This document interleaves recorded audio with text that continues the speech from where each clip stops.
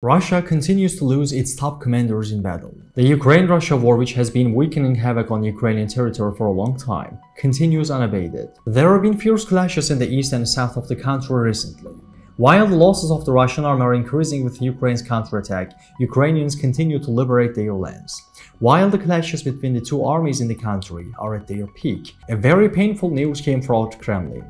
Alexander Belsky, chairman of the St. Petersburg Legislative Assembly, announced the news that shocked Russia deeply. The Ukrainian army killed Russian Colonel Yevgeny Vashunin, who commanded the Leningrad regiment. The Russian official said Vashunin was mortally wounded on July 14th, when he and his unit tried to help besieged stormtroops. Vashunin and his support group had mobilized to help the other Russian units, However, Vashunin was spotted by Ukrainian forces. A firefighter then broke out. During the clash, Colonel Vashunin was seriously wounded. Severely wounded, Vashunin could not hold out much longer and died.